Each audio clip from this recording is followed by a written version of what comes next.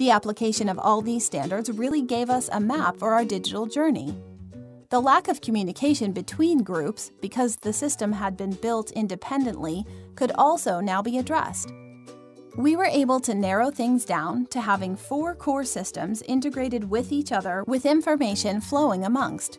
This eliminated manual re-entry of data and reduced cycle mess.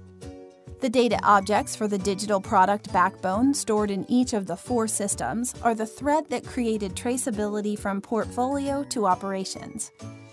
We hope to eventually have one centralized system instead of four, but for now, the integrations are working well. We use the Open Group TOGAF standard to guide us.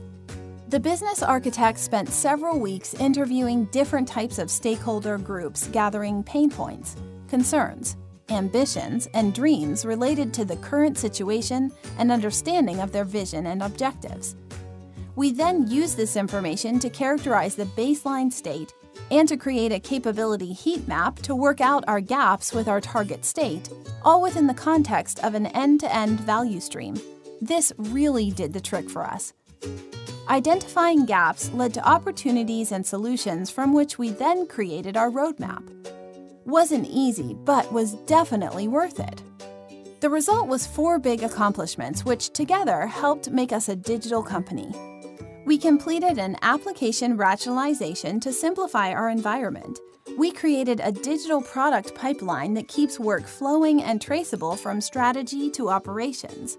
We deployed new technology in support of our digital products.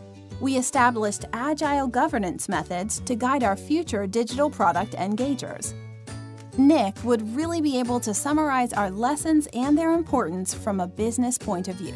Thank you, Dr. Kathleen. I think that was pretty informative. I will try my best to be as precise as you were. So we learned the following lessons from our work.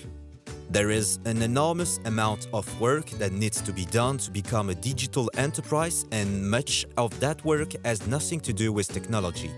People and lines of communication are equally as important as technology value streams. Working end-to-end with cross-functional teams is the key to success.